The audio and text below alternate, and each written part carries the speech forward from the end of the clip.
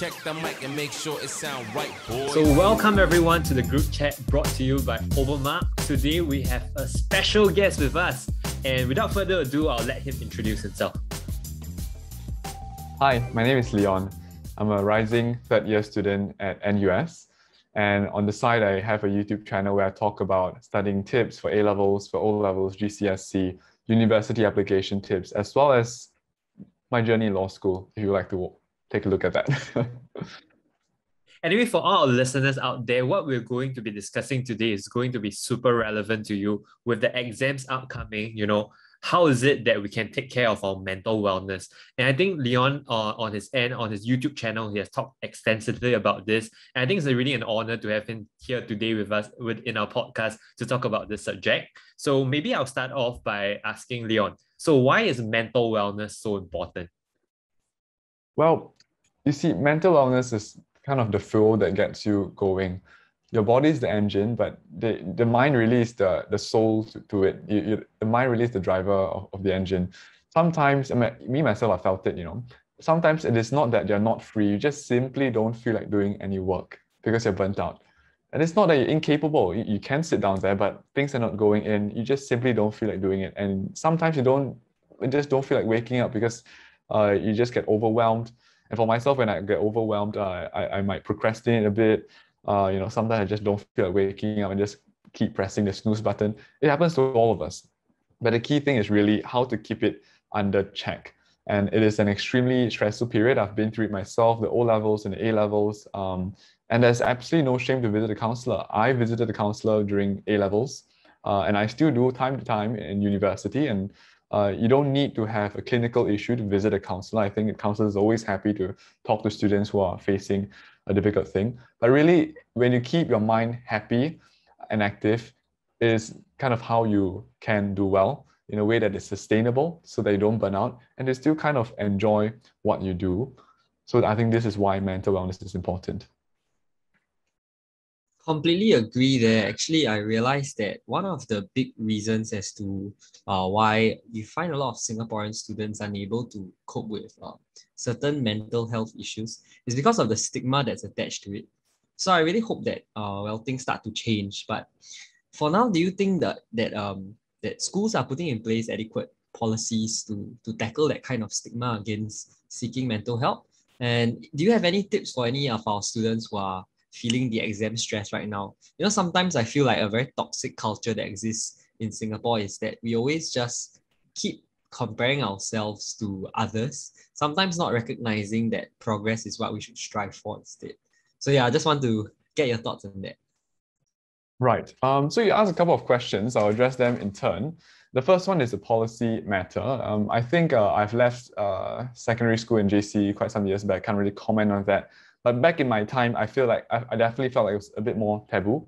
I visited a counselor. Uh, I, I tell my parents, and they're very worried. Say, "Boy, are you okay?" I said, "I'm definitely fine, but I just need to see the counselor."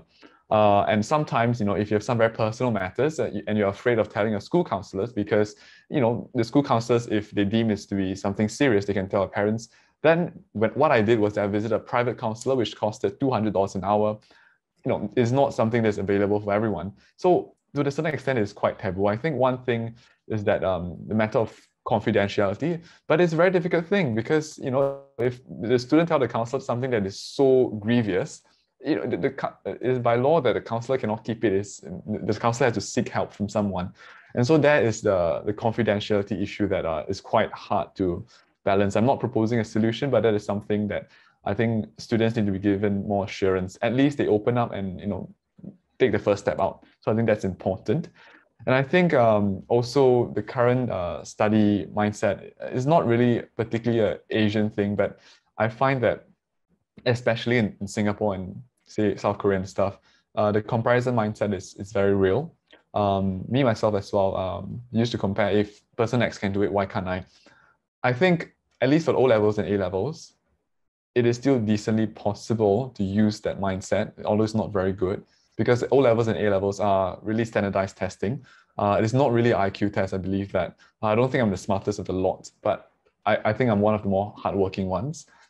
I wasn't very good in uh, physics. You just keep doing the papers, you kind of get better at it. So there is that comparison there. Um, but take it uh, in stride and not let it overwhelm you. So I think really as what Emmanuel has touched upon is that the growth mindset. Some I heard this saying from one of my seniors that it's okay, you know, if you try your best and you don't get it. And sometimes when I try my best, I don't get certain things I want. Um, it's not really to like results. Sometimes when I'm applying for university, I applied to Cambridge. I didn't get it. I wrote, I wrote 16 drafts. I didn't even uh, get an interview from, from the college. I visited the principal of the college. Uh, I got chased out, I went back again. Um, but yeah, really, sometimes you try your best, uh, you don't get it. And, and that's okay. But really, the idea is to keep trying what, in whatever you do, be it for grades, be it for applications in life, just keep doing it uh, keep the faith, don't let the crown slip. One day, one door open for you, and that one door is enough. It may not be academics, but uh, something open for you if you keep it up. Yeah, I just wanted to to chime in here and talk about a few things. You know, the very nature of O level and A level, we we understand because it's a system of meritocracy, and the very fact that we are placed into a bell curve creates this um this this need right and this this sort of uh, structure whereby you are pit you are pit against your friends and your peers and you're compared uh, in terms of a normal distribution. And i think this is the system that is currently in place. There's nothing that we can really change about it even though we might want to move towards that. But at the current moment we just have to accept that this is the reality that we live in right? But putting that aside i think sometimes the the the cruel part and what makes comparing very toxic is that sometimes you have the mentality of in order to climb to the top, I have to step over somebody else. And sometimes that creates this very unnecessary pressure where they're always constantly in a state of comparing with others, uh, how you're doing, because mm-hmm. you're always mm-hmm. benchmarking yourself against the rest. And I feel that that in itself creates a lot of stress, right?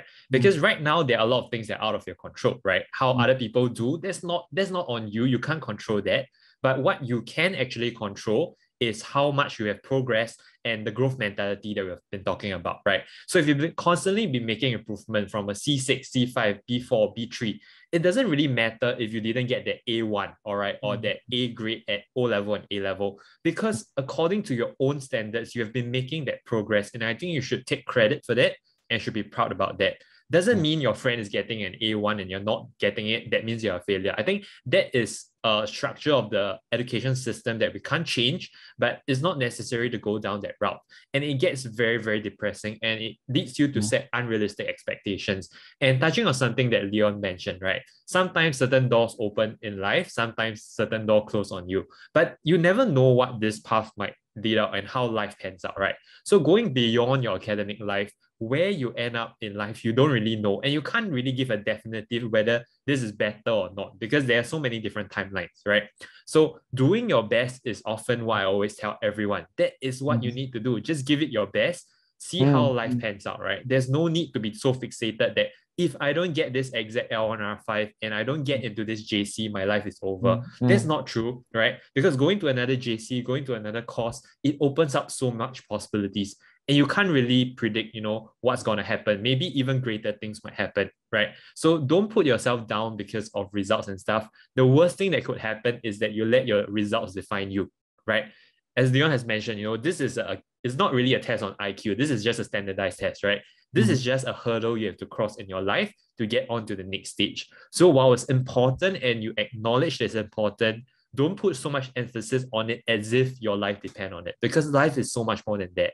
It's mm. so beautiful you know. You go on to uni you meet new friends. For myself i went on exchange before covid. You go travel you see the world you know. It's not about academics. Nobody's going to ask you about o level l1 r5 when you meet a new traveler in, in sweden or something. You know nobody cares about that right? Mm. so mm. keep a broader perspective and i think it makes things so much easier for yourself in terms of your mental health but I think throwing the time back to Leon. Now, I just wanted to get your thoughts on it, on certain reasons why some students might feel very stressed out.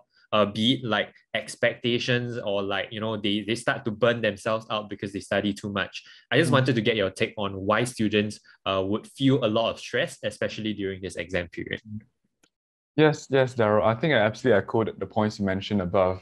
Um, really, at, at one point, I kind of put my self-esteem on the grades I get. And that was exceptionally unhealthy. Um, but I can understand w- why people do that because we, we do live in a very stressful um, society. Um, but I think the, looking back, my most trying years my A level years, and I look at it, um, I kind of displayed quite an incredible amount of resilience to really bite the bullet and go on. And it is that attitude that I think would kind of take you far in life. And going on to the question about the reasons why students um, feel stressed, I think I can speak for myself. Um, the first one, you know, it's the unrealistic expectation. Um, I, I, I do believe that, that apart from meritocracy, some people have innate talents, um, be it by nurture or by nature.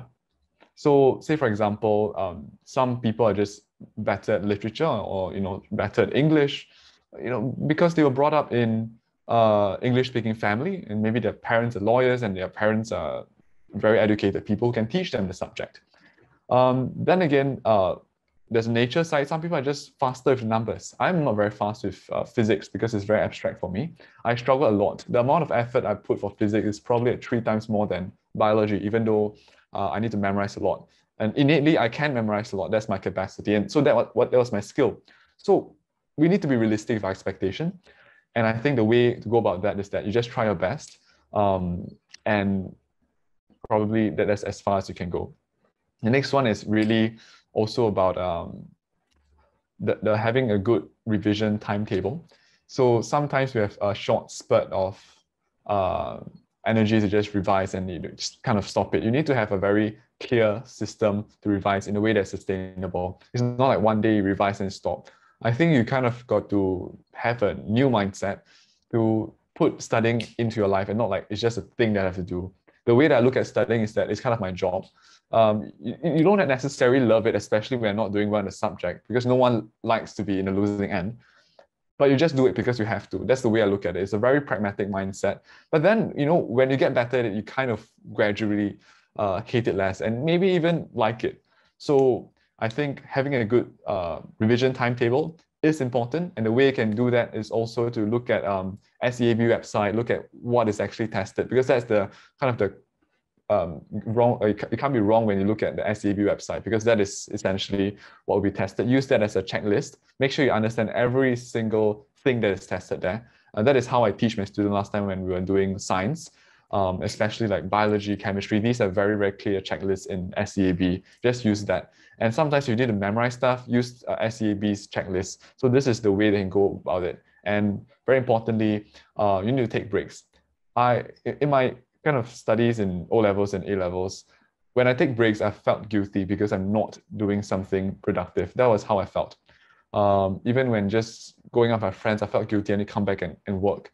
I felt like I was never really myself because even when I was CCA playing my friends, it's always bogging uh, me that I have something to do. But then you realize, why don't just have fun in that three hours or four hours that you have? And then when you work, you just work hard. So I think the work hard, play hard mentality should come in. And when you take breaks, it's actually justified. And I think research have shown that when you are taking break, it's actually not that you're not doing anything at all. If you're taking a long walk in, in nature and stuff, your mind is still processing. And which is why sometimes when you're stuck on a question, you come back from walk, you actually find the answer. So learning to take breaks and being easy on yourself, actually, I think it's scientifically proven to be better for productivity as well. Wow, that was uh, that was that was that really really hit home with me because I I think that what the, one of the biggest um one of the biggest stress relievers back then was always just going for a little run. I I, I really resonate with how you mentioned that A levels was the most trying period of your life. So for me, I wouldn't say I wouldn't say it's the most trying period lah, but I would say that it was the most intense two years of my life of really hunkering down to yeah. yeah to just hit the books right. But okay, I found it very therapeutic uh towards the towards the end. Can't say so for when um I was jolted into the entire environment. I think that was horrendous. But yeah, I, I don't okay lah. I, I really I really see where you're coming from, and I, I can't agree any anymore. I think that that's that's amazing. Yeah. Anyway, uh, I also wanted to touch on uh, the kind of mindsets that um I myself uh adopted to to cope with uh the stress that comes from the competition in in the exams. So I want to share this um, with the kids who are tuning in. And uh, maybe you could share a bit of your thoughts on this, uh, Leon. So um, I subscribed very firmly to the idea and the philosophy of Stoicism. So I just mm-hmm. was talking to Daryl about this like last week. So I was telling uh, a lot of uh, our students who are listening in that sometimes you have to step out of the frame of uh, your life and recognize that there are certain things that you can control and certain things that you cannot. So you should only feel uh, the sense of happiness and fulfillment and peace when the decisions that you have made are the right ones. So that means that perhaps you shouldn't be too happy when you've gotten an A, but at the same time, you shouldn't be too sad when you haven't met your expectations. You should try your best to make your uh, your peace, your joy, your happiness, your fulfillment come from the decisions that you've made. Because I think that's really the path to a happy life. And I feel that when you adopt that kind of mindset in life, doesn't matter whether you're a student now or when you grow up to be an adult, get into your career and everything. I feel that that philosophy will really take you far. Because when you learn to isolate and uh, and take away all the external uh, things that you cannot control, focus only on what you can, then you are really able to give yourself credit for what you have done right. And of course, at the same time, if you have uh, unfortunately made wrong decisions, then obviously you should also feel uh, the resentment to yourself, the, the remorse, you know, for making those decisions. So personally, I think that stoicism is something that uh, I wish I knew a bit earlier. So when I was, I think when, I was um when I was sitting for my O's, I didn't get what I want, or I wanted rather, and I felt very destroyed by it because I felt like oh I was so shortchanged by certain things. Uh, and then when I grew up a little, um, matured a little, and reflected on uh, the things that happened in my life, I realized that a lot of things uh, were not actually for me to blame. And I had made a lot of choices that were right when I was just like sec four. So uh, looking back, I actually feel quite um, proud to to have even like put in that much effort, you know, to really have made that decision to try to hunker down and study. So I, I really hope to share this this philosophy with uh, our listeners also to maybe go and search a little into stoicism. So I feel that that is one big step uh, to improving your mental health, especially if you're having a lot of these thoughts of uh, uh, self-esteem issues, if you're feeling like other people are much smarter than you or anything like that, realize that there are things that you can control and those should be the only things that you really keep your mind on. Yeah. So what are your thoughts on this, uh, Leon? Yeah, absolutely I echo your point. In fact, uh, just recently I was reading this book called How to Be Sad by Helen Russell, and I actually made a review of the book on YouTube. Um, in uh, her book, she mentioned about this point about arrival fallacy, and I think it's very similar to what you've said. That um, you know you try your best for your O levels. So that was me. I tried my best for O levels. Yeah, I, I was the top of the cohort. And what's next? You know, it's just like when you climb Mount Everest. You thought you know climb Mount Everest already. That's that's the thing. But then you know after you come down, you realize actually just just get on with life. That's the next thing, right? So the same thing, you know, A levels, oh, I get, you know, good scores. I go on to law school. Oh, law school is a big thing. Never thought that you could. But it doesn't just stop there. You realize after law school, which firm, what uh, de- what degree classification, it just goes on and on. I think this point about stoicism is important to really pace yourself and not give yourself this um, rather false and quite unrealistic expectation as though if you get X, you'll definitely, you know, be extremely happy just for, for me, I kind of had that problem as well. Um, I applied to Cambridge. I thought if I get it, it will be my whole world will be perfect. But that's not true. If I get it, you know, I will still be thinking about what firm and everything. I will still be in that competitive mindset. And I don't think that uh, my happiness would be, you know, any different from where I am now. So this arrival mindset is something that uh, we got to acknowledge it and to really address that. Oh man, stoicism. Okay, for me, I never really came across this this theory before, this philosophy. But for me, I read this book on seven habits of highly effective people. And yeah. the one that I could relate to the most is this idea of circle of influence versus a circle of concern. So there might be a lot of things you're concerned about, like how other people perform or like how the paper are set and stuff. But honestly, those things, even though if you worry about it, it doesn't change a thing. But things that are within your circle of influence are things that you can actually tangibly have an impact on. For example, if you want to do better, you spend more time on revising, uh, change up your revision schedule. Those are things that you can actually affect the outcome. And I think that really changes the way you look at the world and how you look at your own control of your own happiness.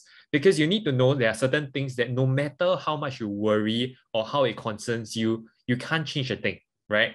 And those are the kind of things that you really can't worry about because if you start worrying about those things and yet you can't do anything about it, you're just making yourself unnecessarily stressed out or unhappy. So think about it. Is this something you that you can tangibly make an impact on?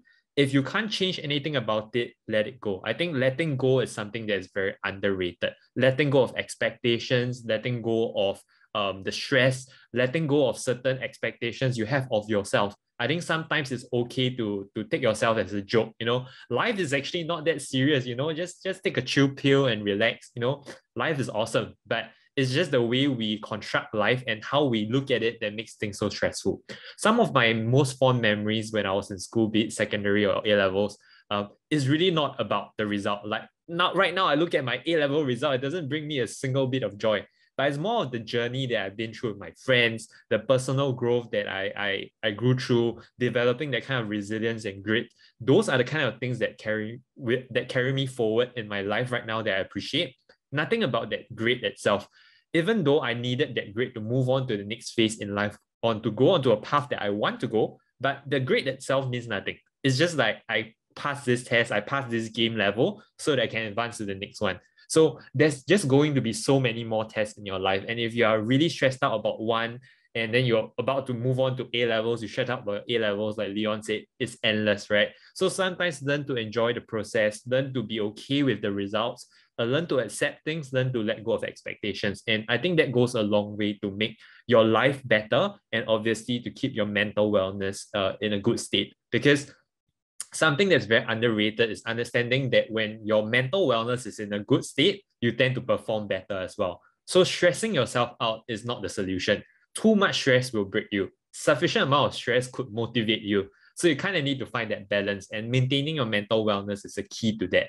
All right, I think we had enough talks about why is it important, tips to really improve your mental wellness. On to our favorite portion of the podcast, which is dilemma of the week, right?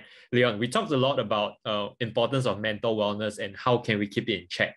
But I think something that our students might be curious about is that if right now they're planning to sit for their national exam in less than three months, right? How many hours of revision is enough? But I think this question doesn't come with a very easy answer or very specific answer. Um, it really depends on how much you can afford um, and also really before that, I think a few principles have to be stated. It's really the quality of time and not the quantity of time. Uh, I know some very hardworking students, they, they don't do well because really the, in the time that you're working, how, how are you trying to work is, is really very important. You know, like for some subjects, I don't really spend so much time because I was kind of naturally quite good in it. But for some subjects, I have to spend more time. And in the time that you spend, what exactly are you doing? Are you just blindly memorizing? And for like math, it's not about memorizing, it's about application. So you really got to use the time carefully. It's not the more the merrier, but really how you use it. And having said that, um, the way that I, at least when I studied, I aim for 10 hours a day, 5.5 days a week. Uh, it's quite intense. But let me explain to you how I rationalize that. Um, so when I started out, uh, so morning I wake up around eight, you know, start at nine. So I start at nine, three hours, three hours paper, some A levels, O levels, around three hours, right? Paper done, eat lunch, paper two, another three hours, so that's six hours. End of the day, uh, take three more hours, three to four hours, and mark the papers yourself. I think it's very important to mark the papers yourself. You get the tutor to mark it. Fine, if it's English, fine, you know, because you can't really mark an essay. But for like math and science and say uh, uh, humanity, some of them you can really mark yourself, and you should really go through the answer yourself. I think about three to four hours, and at times I might take longer to mark it if that paper was really trashy. Um, then that I spend the time doing the paper. So if I do it for two and a half hours, I can mark it for four hours and but in that process of marking, it's not a waste of time. It, that process of marking is where you learn. So I think that is that. So the way I look at it is um, it's just like work, right? Sometimes when you if, if you ever tried working for a part-time job and stuff, you do work about 10 hours. So the way I look at it is it's actually work. It's just my professional work. And I take my studies quite professionally. And that's why 10 hours, five or five days a week. And the rest of the time that I'm not studying, get get a break and do something fun.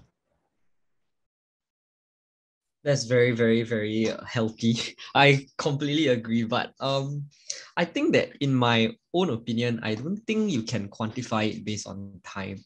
So I actually told my students never use time as a gauge uh, to track your progress. So I always tell them that uh, if you really want to track whether or not you're making progress, it should be based on the competency. And you can only really track competency um, by calculating a percentage of the scores that you can score for a particular topic. So how I tell my students to study is actually uh, right now they're brushing up on their topical. So um, a lot of them are already asking, is it is it now uh, I have to instantly throw myself into doing papers after papers after papers. Then I told them, actually, you shouldn't really look too much into trying to rush papers and uh, be doing the same exact thing as what you see like the general uh, population doing. Because I feel like uh, if you're not quite there yet in terms of certain topics, it's much better for you to get rigorous practice in those. And then um, find mastery first in those topics before you approach like a holistic uh, full paper. And also, personally, la, I feel that time sometimes, right, if you measure things in terms of time, you will feel very productive because anybody can just sit there and, and slog for that uh, multiple hours. But I feel like the real proper measure, especially for math and science, okay, maybe I, I'm not too sure about uh, humanities, lah, but for math and science, I feel like it's important for you to actually gauge like a percentage of the questions you feel confident in getting uh, the marks for. So for instance, if you come across a math question where it's like say calculus, right? Then you know that okay, I'm, I'm most likely going to get this question correct because I've seen this multiple times. I know the the tricks that they can ask me, and uh, I know exactly how to navigate through them. Then I think you've really hit that level of competency competency that you really need. Uh, and I think that that should be the way that you study lah. So personally for me, I, I did that for my A levels and it really helped me get a good sensing of where I stand for every topic. So um, nobody is exactly the same. So my study strategies may not work the same. Leon's study strategies may not work for you as well. But you really just need to put that time in and uh, the effort in to really make sure you're getting things uh, in your way, right? So everybody has a slightly different kind of studying habit. So what do you think about the most optimal um, way in which that you can digest content for English. So I want to hear from from you because I mean, what what better words and what better opinion than from a law student himself? uh, right. Um, for English, is not. If you look at exam you're tested, uh, comprehension you don't need to memorize. Honestly, it's about understanding. Like you know, the teacher can teach you all kind of formulas, but really, when it boils down to it, it's, it's not about a formula. It's not math. It's really uh, understanding what the question is asking and use common sense. I think common sense is really underrated here. When you're bogged down with all the formulas and stuff, okay, you got to use a certain formulation to answer. Uh, these are guides and these are not uh, the, the end of the, the story. Really, it's the inference uh, and how you common commonsensically understand the text that matters. Um, so go with a common commonsensical approach and memorize. I don't think you need maybe for GP. You know, you know why I don't memorize that because I read the news often. It's just it's just there, lah maybe you memorize a bit more so that you know you have some things to say. But if you're avid reader of the news, you don't have to. For O levels, actually don't need memorize lah. O levels English, even you write discussion and stuff, is quite bare bones. If you read the news once in a while, you kind of roughly know what to write. So I don't think it's very heavy a memorization. Uh, maybe just a bit. But if you do an essay every week, you don't actually have to memorize. So English is more application than memory work, I would say. So I think um, just to wrap things up a little in terms of uh, how many hours a week, right? I just wanted to give my take on this. Um, I would say if you need a quantifiable number, I think Leon mentioned 10. Uh, for myself, I think O levels I did around 8 to 10. Uh, A levels, I think I did around 12 with breaks in between. La but but that was because I was really slacking off in uh, my JC one. So I was like in a very bad state and I had to catch up for it. But 12 hours was not very productive. Like with the breaks in between, you know, and stuff, yeah, it, it wasn't a very good cycle. In fact, I'll recommend keeping it between 8 to 10. That that I think that is ideal. Now, the thing you want to think about is your level of confidence when you're doing a revision. I think that's the best gauge of your progress. Humans, you know, we have a tendency to want to quantify things, right? It's easier to count like one hour, two hour, three hour, but it's hard to gauge your level of confidence or your level of mastery because there isn't a quantifiable number that you can correlate it to. So, but I need you to think about this. If, for example, we talk we are talking about EMath paper one, right? For example, doing the 2020 paper, how confident are you that you can answer every single question? If you are super confident and you do the same for 2019, 2018, and you start doing backwards and you feel like I can gauge everything and I manage to do everything right within sufficient period of time, then you're already in a good state. You should feel good about it and you don't have to feel stressed if you're not spamming more and more practices. You can instead spend your time on other subjects that you need more time on. Same thing for, I'll say, humanities. If you look at the paper and it says um, Japan in World War II, right? And how confident are you of your pointers, your PEL, your conclusion? If you already know everything, you don't have to spend more time memorizing it. You just need a refresher before the exam. So rather than approaching it using a very quantifiable method, I'll prefer you think about it. If you were to see in an exam right now, how confident are you that you will be able to ace the exam? Same thing for science, same thing for English even. Knowing, for example, if the if the, the, the statement comes out, do you know what your pointers that you're going to bring out? What examples you're going to bring out in your discursive essays, uh, so on and so forth. So I think that might be the best way to do it, but that's just for myself. All right. I think today we had uh, this super conclusive discussion on uh, mental wellness. I think there's a lot more that we would love to touch on, but we just wanted to keep this uh, sweet, short, and succinct. Uh, so I'd like to thank Leon for coming on to this podcast. Really appreciate your appearance. Uh, maybe just give you a little time to shout out your YouTube channel so that more students can uh, discover your great content. Again. Yeah, um, you can just, uh, it's eponymous YouTube channel. You can just search uh, Leon Ngiam. Uh, it's in the name uh, that I have there. Uh, I think uh, it won't be the top hits. Uh, yeah, so you can check it out. Uh, I do uh, productivity tips, uh, A-level, O-level, GCSE tips for uh, students as well as university application. And sometimes, even though you think that it's too early, it is kind of a, it's a good thing to actually think about what you want to study and to give yourself a motivation. So I do this kind of content and feel free to check it out. Awesome. I'll put the link to this channel in the description, so please go and check it out. But I think with that, we come to the end of the group chat. Um, thank you, Leon, for coming on, and Emmanuel, I'll also see you on in the next podcast. So to all our listeners out there, remember to give us a like so that more people can discover our video. If you're listening on Spotify, please remember to follow us. But if not, we'll look forward to the next podcast. Study hard, guys. Keep the dream alive. Bye, everyone. It sound right, boy.